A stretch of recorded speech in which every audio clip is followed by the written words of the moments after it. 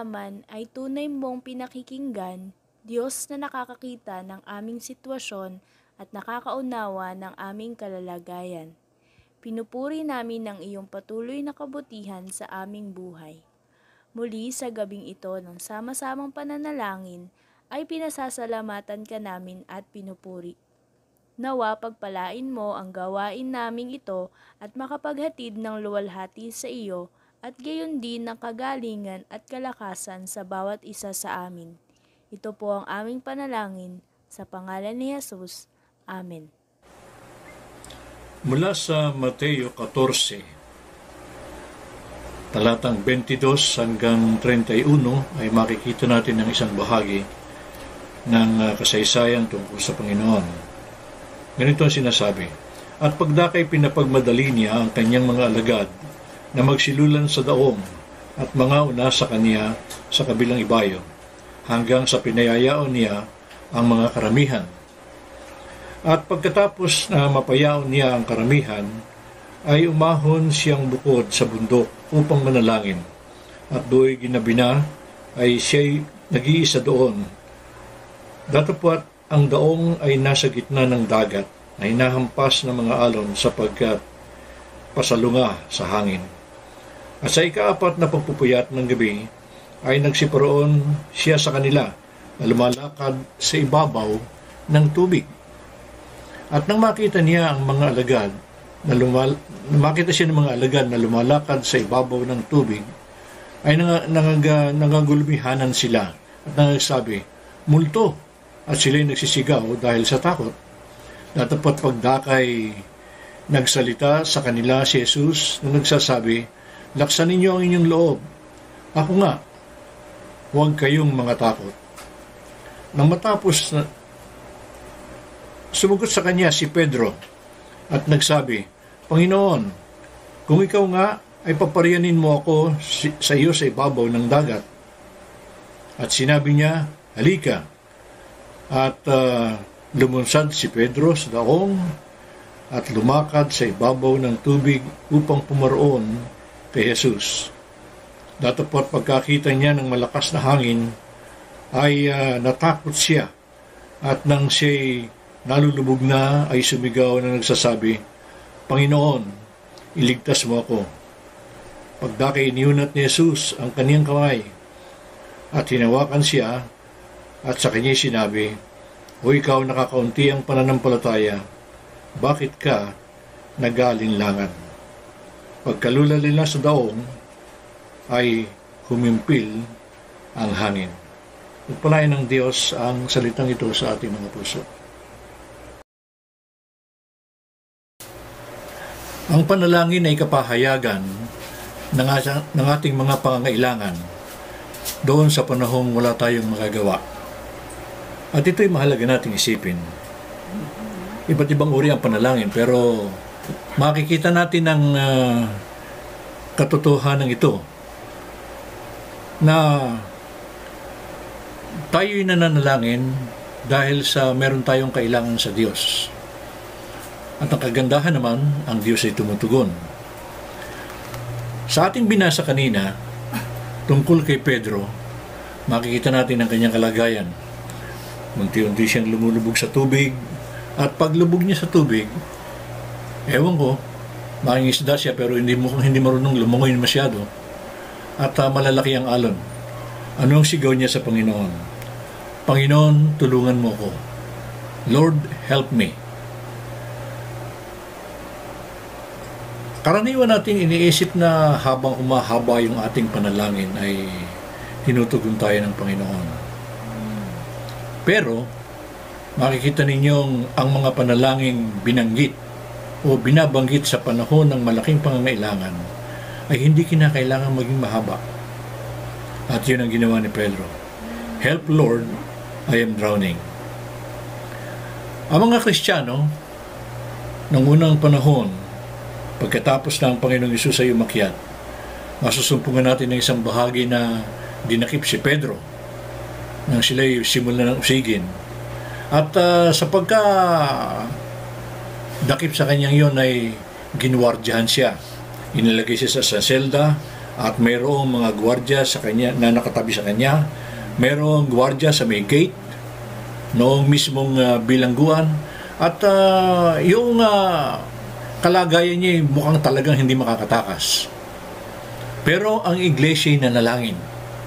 At sa pananalangin nila, hiniling nila na ang Panginoon ay siyang umantabay kay Pedro.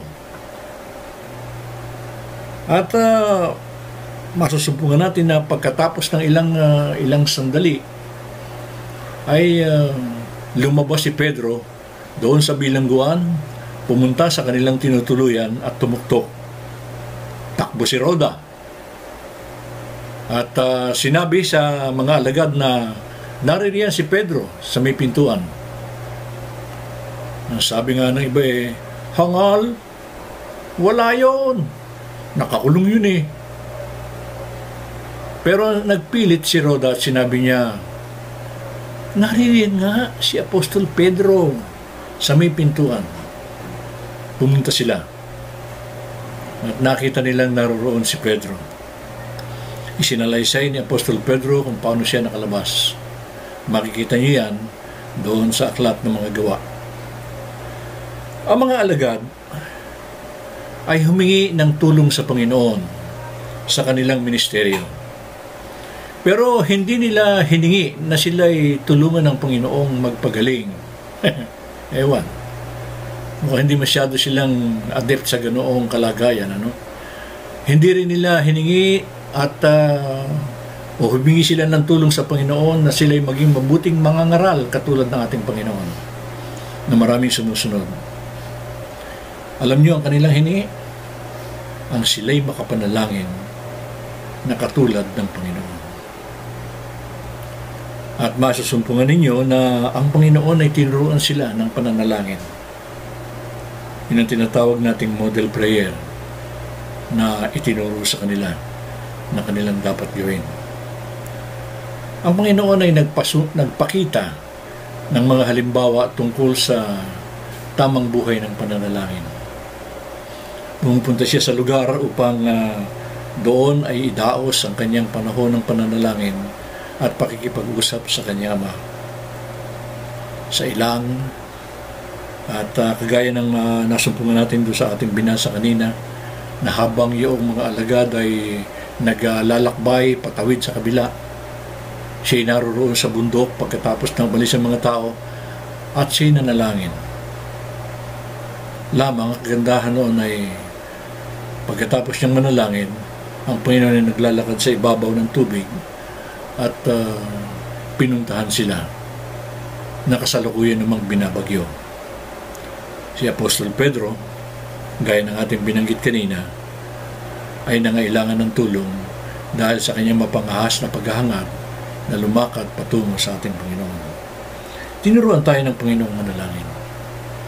Sabi nga ng Panginoon eh, manalangin kayo sa Panginoon na nang, nang aanihin upang uh, magdala ng mag-aani. At yun ay mahalaga natin gawin. Ang sabi rin niya, kayo manalangin upang huwag kayong magsipasok sa tukso.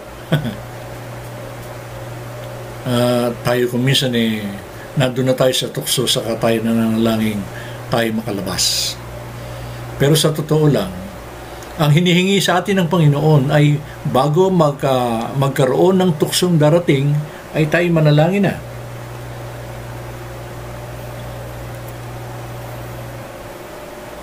Sinabi rin ni Apostol Pablo sa atin pagkatapos ng uh, pag uh, akyat ng ating Panginoon, ang sabi niya, manalangin kayo ng walang patid.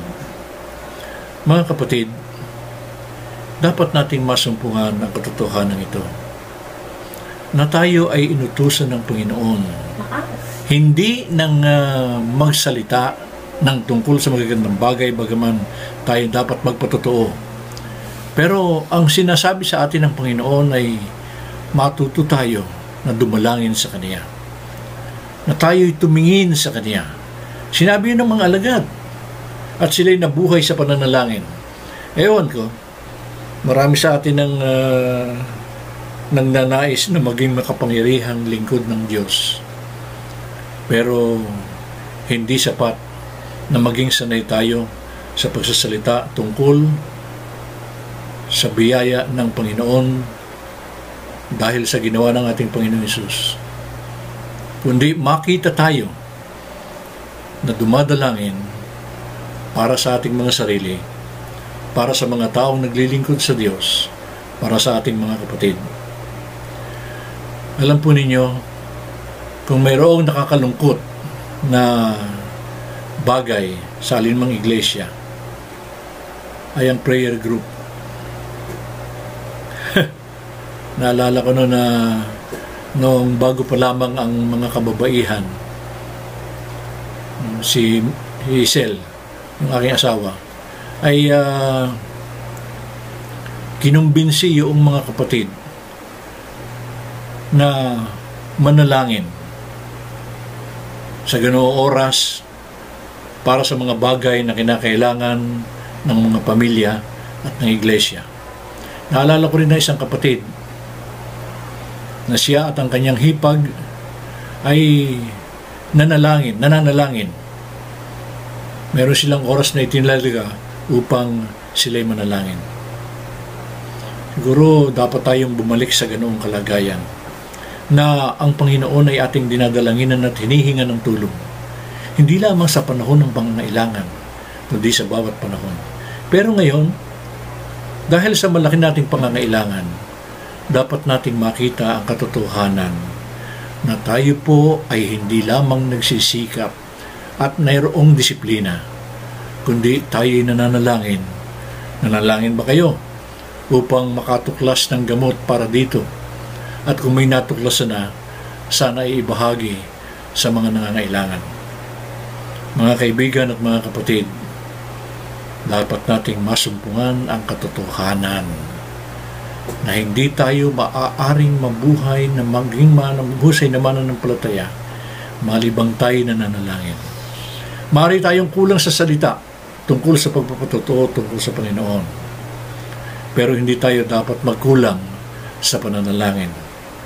Mari tayong magkulang sa ibang mga bahagi ng ating paglilingkod at ang ating buhay kung minsan ay nagkukulang sa Diyos. Pero huwag naman nagagawin nating magkulang tayo sa pananalangin. Huwag tayong pasaklaw doon sa kawikaan na sinasabi, pag ang sakit ay malaki, ang pangako ay marami. Pag gumaling at bumuti, Diyos man ay hindi masabi mga kapatid naman, huwag nating gawing takasan ang Panginoon sa panahon ng pananalangin. Kundi gawin nating ang bawat bahagi ng ating gawain ay pasimulan natin sa pananalangin, alagaan natin sa pananalangin, at paipagpasalamat natin sa Diyos na ito'y natapos sa ating mga panalangin. Mga kaibigan at mga kapatid, magpasalamat tayo sa Diyos na mayroong pananalangin at pagtitika sa ating mga puso na nilaluwalhati ang Diyos upang siya ay bigyan ng karangalan sa ating kalagitnaan.